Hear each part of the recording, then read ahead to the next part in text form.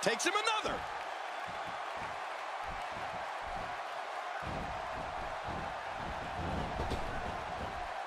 We're looking at complete domination here.